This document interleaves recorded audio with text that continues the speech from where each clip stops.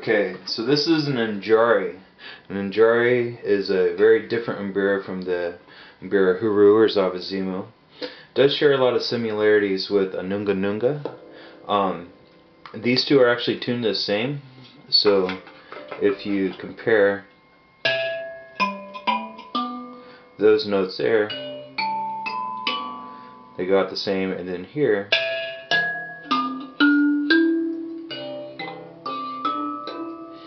and then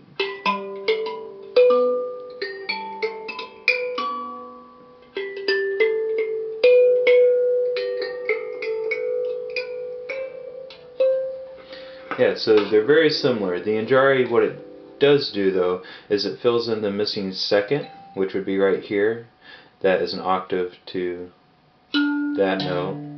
And then it also adds the fourth of the scale which the Nyunga Nyunga misses entirely so the scale of this goes.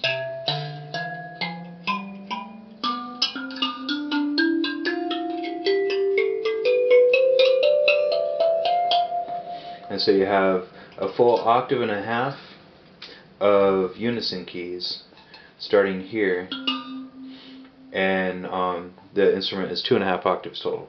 Very fun and Um, I'm very much a rank beginner on it, and everything I've learned I've taught myself from recordings. So, yeah, I look forward to studying this more in the future.